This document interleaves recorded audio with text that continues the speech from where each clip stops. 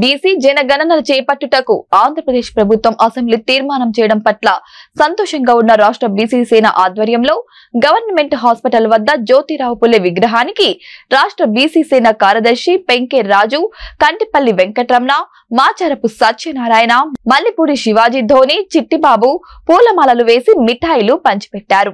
ఈ సందర్భంగా రాష్ట్ర బీసీ సేన ఉపాధ్యక్షులు యనమదల రవి మాట్లాడుతూ బీసీ జనగణనకు అసెంబ్లీ తీర్మానం చేయడం హర్షణీయమైనదన్నారు నా పేరు యనమల రవి అండి. రాష్ట్ర వైద్య ఆరోగ్య మౌలిక సదుపాయాల చైర్మన్ మాజీ చైర్మన్ నేను ఇప్పుడు ముఖ్యంగా ఈరోజు ఈ కార్యక్రమం చేయడానికి ముఖ్య ఉద్దేశం ఏంటంటే మరి బీసీల జనగణన చేపట్టడానికి మరి అసెంబ్లీలో తీర్మానం చేయడం జరిగింది. అందు నిమిత్తం మరి ఈరోజు ఈ కార్యక్రమం చేయడం జరిగింది. అదేవిధంగా ఈ ప్రభుత్వాన్ని అలాగే జగన్ గారిని అలాగే మా రాష్ట్ర మంత్రివర్యులు చెల్లుమని వేణుగోపాలకృష్ణ గారిని అభినందిస్తూ రాబోయే కాలంలో స్థానిక సంస్థల్లో కూడా బీసీల రిజర్వేషన్ అమలు చేసే విధంగా మరి చర్యలు చేపడతారని చెప్పేసి ఆశిస్తూ సెలవు తీసుకుంటాం డిసిజన్ అధ్యక్షుడిని ఈరోజు అసెంబ్లీలో మరి బీసీ కులగణన గురించి ప్రవేశపెట్టి తీర్మానం చేసింది.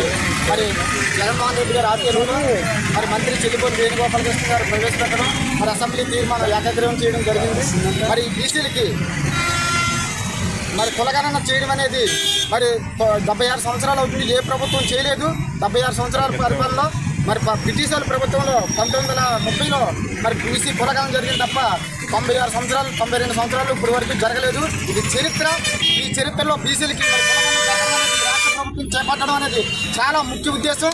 కానీ మరి ఇది బీసీలకి నిజంగా జరిగితే మరి బీసీలకు అనేటువంటి విధాలుగా మరి సక్సెస్ అవుతుంది. బీసీలకి ఉద్యోగాలు కానీ మరి రాజకీయ లబ్ధి కానీ అన్ని విధాలుగా మరి బీసీలకి జరుగుతుంది కాబట్టి అలాగే పార్లమెంట్లోని అసెంబ్లీలోనే థర్టీ త్రీ పర్సెంట్ రిజర్వేషన్ కూడా కల్పించాలని కూడా మేము ఏక తీర్మానం చేస్తాం ఇంతకు ముందు మేము బీసీ సేన తరపున ఇలాంటి సమ సమలు సమావేశాలు జరిపడం వల్లనే ఈ రోజు మరి బీసీలను గుర్తించి జగన్మోహన్ రెడ్డి గారి ఆధ్వర్యంలో మరి కొలగడం జరగడం అనేది చాలా ముఖ్యమైనటువంటి విషయం కాబట్టి మరి గర్విస్తున్నాం.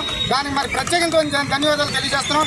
మరి అందుకోసం బీసీలకు చేసేందుకు మొక్కసారి ధన్యవాదాలు చేస్తూ మరి బీసీలు అందరూ రుణపడి ఉంటారని కోరుకున్నాం